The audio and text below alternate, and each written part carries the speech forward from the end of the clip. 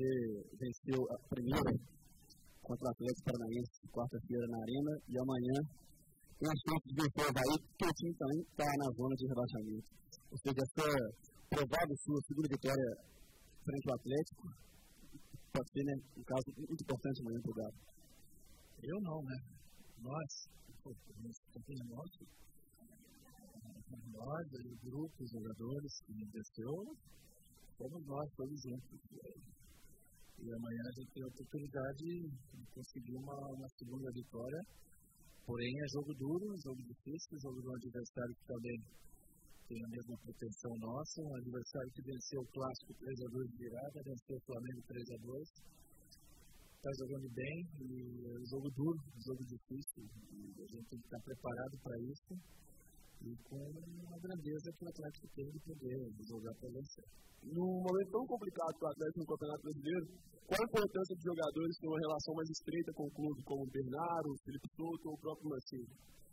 Não, não é só esses jogadores né, que têm uma relação estreita, todos têm que ter essa relação. Inclusive, se chegar agora, eu também cheguei agora, tem que ter essa relação já de anos atrás, o sentimento, o pensamento é esse, se sair de uma situação ruim. Não é dar as mãos, é remar junto, é ir para o sacrifício, comprometimento total, como a gente vem tendo. Tivemos nesse último jogo com o Atlético, do mesmo jeito que tivemos no Clássico ou contra o, Corinthians. Não tivemos a sorte de vencer, mas jogou bem. Lá com o Atlético, jogou bem, tivemos a sorte de vencer. Eu acho que o pessoal está bem compromissado, está bem atento a tudo, né? E vontade não vai faltar. Depois do jogo lá, tem que ser o seguinte. É, eu posso dar o repeteco. Finalmente posso dar o repeteco. Vou pensar, tem o time do primeiro tempo e tem o time do segundo tempo. E aí? Então, é, são opções que vai se abrir. Eu acho que o time do segundo tempo jogou tão bem, até melhor do que do primeiro tempo um complementou o outro. O que a gente analisa é sentir o jogador, a gente está gente se gasta de uma partida para outra. Tem alguns jogadores nossos que não, não, não estão em ritmo do jogo. Muito tempo que não jogavam uma partida, então o cansaço ela vem 48 horas depois de um jogo tão lutado, guerreado como foi aquele. Então, eu estou sentindo bem o grupo para poder manter o máximo possível do que jogou e venceu lá o Atlético. Então não está definido ainda. Quer dizer, está na sua cabeça, né?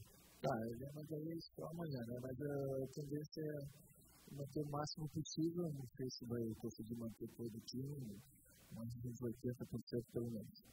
Ô, Cuca, avaliando aí o, o adversário, o Havaí, como você disse, vem uma, uma crescente também, e é um, um confronto direto, o Atlético tem grandes possibilidades, até em caso de vitória, de sair da zona de rebaixamento. Quais os maiores cuidados aí a serem tomados contra esse adversário? É, eu observei o jogo do Havaí com o Figueirense e o jogo do Havaí com o Flamengo. Uma equipe que está jogando bem, está jogando solto, está jogando com qualidade. É jogo duro. Mas a gente tem o nosso favor o torcedor, né? E ele é fundamental. Eu tenho certeza que se a gente tiver o empurrão, vamos ter o torcedor, a compreensão de passar um momentinho ruim no jogo, a gente vai passar, ele vai fazer a diferença. Cuca, é, hoje mais um treinador roubou no brasileiro, saiu. Domingo depois do, do clássico, você teve medo de, de, de, não conseguir dar continuidade no seu trabalho no Atlético? Ah, não, tenho medo, não é, não é medo, né? Na verdade, o futebol ele é, ele é, ele é, ele é dinâmico, ele é movido a resultado, é a nossa cultura. Às vezes, eu, eu cheguei aqui dia 12, 11, né? 8. E dia 30, eu fechei 7 jogos. Então, quantos dias deram aí? 22. E não treinei, o treino foi jogar.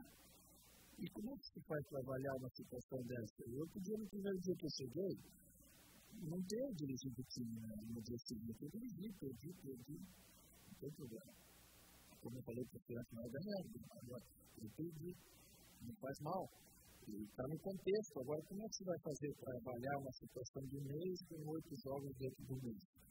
Tem que ter tempo, paciência, né? Agora, o pessoal tem que ter equilíbrio e entender um trabalho, analisar o trabalho e não só o resultado imediato. Porque às vezes o resultado demora um pouquinho mais para vir, porque o trabalho está sendo plantado, depois você vai colher. O Cuca, é, nesse mesmo momento da competição, no ano passado, quando você dirigia o Cruzeiro, você brigava para permanecer no Z4 e encostando nos líderes, com um objetivo totalmente distinto do que você tem hoje no Atlético. A pressão é a mesma quando se está no topo em relação ao que você está agora? É, cada um tem sua pressão, né? Não pense que o pessoal que está lá em cima não tem pressão para ser o campeão, para chegar na Libertadores. Só que é uma pressão diferente, né? Você tem consolo. Se você não for campeão, você chegou na Libertadores, se você não chegar na Libertadores, você chegou na Sul-Americana. E para quem está lá embaixo, você não tem consolo. Ou você escapa ou cai. Então, para quem está embaixo, é muito mais difícil. Então, falar um pouco aí de pressão, você disse que no futebol são os resultados que mantêm. E a gente vê torcida, própria gestão dos jogadores, e geralmente ficar em cima do técnico a maior pressão. Como é lidar é, diariamente com toda essa, essa estrutura que é formada sobre o treinador? É, mas é,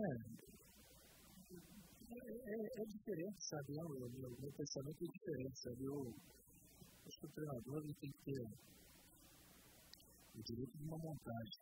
E quando ele tem uma montagem, ele vai montar uma equipe junto com a diretoria, dentro da, da realidade do clube que ele trabalhar, dentro do que ele imagina que é contexto de campo. Quando você entra dentro de um contexto formado, você vai trabalhar de acordo com o que você tem. Vai explorar características do jogador que você tem, não que você queria ter.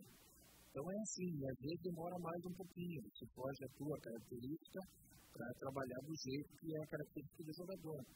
Não pôr o jogador jogar contra o gosto dele. Então vira tudo contra. Gente está vendo aí. Então é, é, é ter estrutura para você, nesse ano aqui, atingir o nosso objetivo, que é permanecer na primeira divisão, e o ano que vem poder fazer uma montagem, pegar grande parte desse grupo que a gente tem hoje, e algumas outras que a gente imagina para fazer sim, um ano vencedor, para buscar título, buscar vaga na Libertadores. Eu entendo que aqui é um lugar que tem tudo isso aqui. Que dá uma condição maravilhosa de você ter título e chegar uma Libertadores, que é tempo que o Atlético não vai.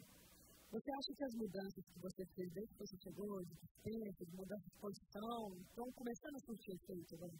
É, eu, a gente tenta fazer o básico, né? Simples, mudar um sistema de jogo, repetir, esperar que a equipe o resultado, a hora que vai sentindo confiança e repetindo, de repente troca uma ou outra peça por um motivo ou outro, não só a parte técnica, física também, importante, recuperação, e dar sequência para eles. Eu, eu acho que, e ainda espero, quando venha semana em semana, a gente possa trabalhar bem mais e aí o resultado aparecer mais. Agora, a gente sempre falou que ia apostar tudo no segundo turno. E começamos bem. Quando você foi contratado, o presidente Calil disse que a única pessoa que conhecia o Atlético tão bem quanto o Dorival era você por ser adversário. Passado esse curto espaço de tempo, realmente você conhecia mesmo o grupo atleticano ou, ou alguma coisa foi tão nova para você? Mas é, é diferente você conhecer e jogar contra. Você conhece a característica do jogador e jogar contra, aquele análise que você faz durante o jogo. Agora, o dia a dia aqui tu mostra a situação completamente diferente do que você imagina. Aí sim você tem um verdadeiro conhecimento do jogador. Eu ainda não conheço o grupo. Um mês não é suficiente você conhecer um grupo inteiro de jogadores que eu não conheço ainda, que podem vir a ser úteis para nós. Cucão, como o resultado positivo contra o Atlético Paranaense foi o primeiro à frente da, da equipe, o alívio, quem sabe, que você tenha sentido, pode ser algo que te propulsione a, a, a alavancar também a campanha do Atlético? É, não, meu. Você viu a rodinha que os caras fizeram lá quando acabou, lá na Arena da Baixada, quando acabou o jogo? O time inteiro, reserva inteira, ele está tirando um peso enorme das costas. Ali você viu a vontade que os caras estavam de ganhar um jogo. Poderia ter sido antes, mas Deus quis que fosse lá. E aconteceu lá, então a gente tem que comemorar o jogo que eles fizeram, a entrega que eles fizeram, só que amanhã tem outro jogo. E não adianta você ficar vivendo daquilo que já passou amanhã, você tem que repetir as coisas boas que a gente fez sábado para poder dar uma respirada um pouquinho maior. Porque a nossa situação ainda é muito ruim. Cuca, sobre o que aconteceu com o Ricardo Gomes, você acha que a profissão de treinador a gente pode comparar com o executivo de uma multinacional, nível de estresse? O que você faz para controlar o seu estresse? Cara, eu não sei como é que são os executivos numa multinacional. Não tem mais, eu duvido que eles sofram assim desse jeito. Eles estão lá tranquilos investindo aí, lá dificilmente Sambu, né? É, quando é, não é lá dentro, pouca gente vê, vê e aqui é uma exposição monstra. O treinador não é só treinador de campo. Você trabalha com um grupo de 35 e traz nas suas costas mais 7, 8 milhões de torcedores. Então não é fácil. Você quando está perdendo o jogo, dá vontade de pôr um bigode, uma costeleta maior para ninguém saber que é você. Você vai no, no aeroporto, essa cota aqui, esse vão ali. Você tem que ter equilíbrio. Por mais difícil que tenha, não é fácil, sabe? Uma coisa é no campo, agora o dia a dia é outra. E a gente, quando está ganhando o jogo, a gente não sai por aí festejando, se abrindo, se exibindo. A gente fica em casa quietinho? Então é difícil. A vida da gente é difícil. A gente pega uma pressão enorme, sabe? Na beira do campo, no dia do jogo, naqueles momentos que antecedem. O pior momento que tem para treinador é quando os jogadores vão aquecer. Daí fica aqueles 45 minutos sozinho não tem o que fazer. Os caras estão aquecendo, está aqui ouvindo a torcida. Aqueles 45 minutos ali passam 58 filmes na sua cabeça. Galo, galo!